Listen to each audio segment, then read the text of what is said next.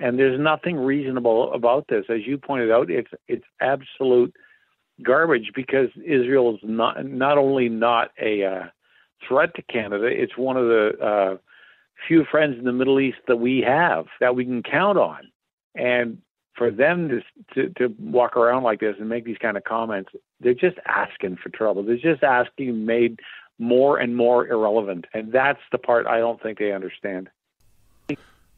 Yeah, it's funny. It I, it it brings to mind sort of the the reverse of one of Margaret Thatcher's um, maxims, and and that was she she used to say, you know, if if if you're if you have to go around saying having power is like being a lady, if you have to go around saying that you have power, you don't.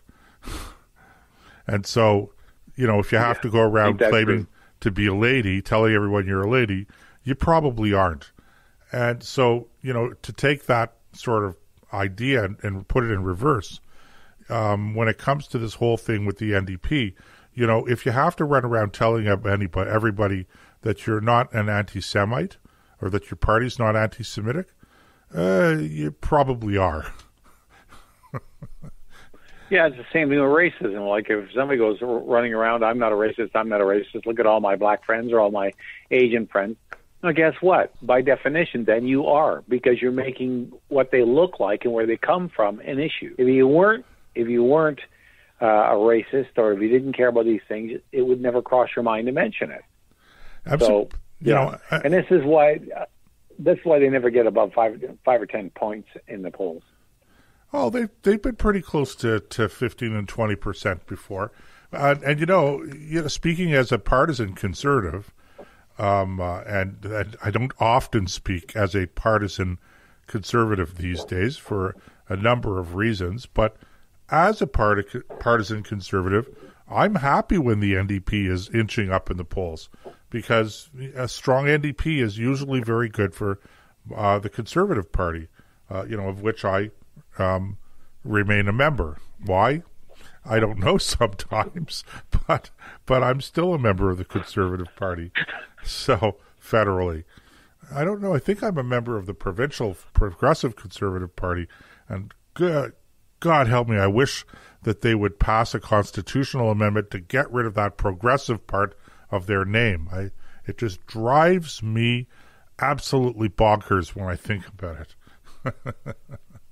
it's well, sort of like I have a feeling you're not going to see that happen anytime soon. It's I, it's it's sort of like you know what every time they go, I'm a conservative, but I'm a progressive conservative, and it reminds me, you know, I'm going, ah, you mean like as if to say conservatism, like alcohol, is a vice to be tolerated only in moderation. yeah, yeah, uh, that seems to be the attitude, doesn't it? And they don't understand that uh, if you want to carry the alcohol analogy out, uh, if you have too much mixed with your with your alcohol, you're going to wake up with a heck of a hangover. Uh, the best a, way to consume a good whiskey is pure. Yeah, that as in other, you don't put mix in it; you just drink it. That pure. is, and and and the, the term for that is neat. um, you know, and That's I hadn't right. I hadn't thought of that analogy, but that is quite right. You know, it's you, you're if you drink too much of anything alcoholic, you're going to get yourself into trouble. But you're going to get yourself into bigger trouble faster if you're mixing your alcohol with different, you know, different alcoholic beverages. So you know, stick to the same thing. But yeah. Anyway. Now we're not condoning drinking, by the way. Oh no, not no. condoning drinking. No, we don't condone just, drinking. Just no. using that as an analogy. No, I just want to make sure you're to excess, I'm, moderation. I, only drink in moderation. Yes. That's right, and drive responsibly. Yes, and, and operate drink your, responsibly. Operate your tractor on the farm responsibly. Absolutely. yeah. Uh, we're not going there. We're not going you know, there. I'm trouble get into on a tractor. Yeah, good idea. Let's just leave that lay right there. So, in a nutshell, that's the NDP for you. It doesn't surprise me. This is the party of, uh, uh, of what's his name there, Svend Robinson, who was a little bit light fingered around diamond rings and thought a good way to raise money for the party was to have his uh, uh, take all his clothes off, have somebody take a picture of him on the ocean coast, and then cover the picture with removable seashells, and you could either pay five dollars to have the uh, a shell removed, or you could pay five dollars to have one put back. I think they had to quit because he was buried under a sea, under a mound of seashells. I, I, you know, do you remember that? I do remember that, and I. Why didn't I remember that? Yeah. That that I guess the image is know, just too disturbing. I guess the image is just too disturbing. Yeah. It's, it, I, well, I blocked it from my me, memory. That's what a lot of other people thought too. That's what a lot of other people thought too. So, you know, it's funny. Instead of taking them down, they were putting them up to cover him up. Yeah, it's funny because Nick, as you were saying that, I was oh thinking my to myself, you know, maybe I shouldn't be so surprised that the NDP, you know, is spending its time on anti-Semitism because uh, otherwise, you know, they might be spending their time raising money this weird way. Oh my goodness gracious! I totally forgot about that. It was, uh, yeah. okay, I don't know what else I could say now. uh, well, let's just say I'm glad the NDP are having a good time. I'm glad that they're enjoying their convention, and I'm glad that nobody's paying them any attention at all outside that party. Uh, the only people who would be are the liberals, only be so they can pat them on the head and say, "You guys just keep doing what you're doing. You just keep passing all these bills we want you to pass. Make sure we maintain our minority government status and treat act like we have a majority. And thank you very much. Here's a lollipop." They're about the only people who would, who would care what the NDP have to say, or certainly uh, what their policies are. Oh dear! Oh dear! Yeah, I'm just looking.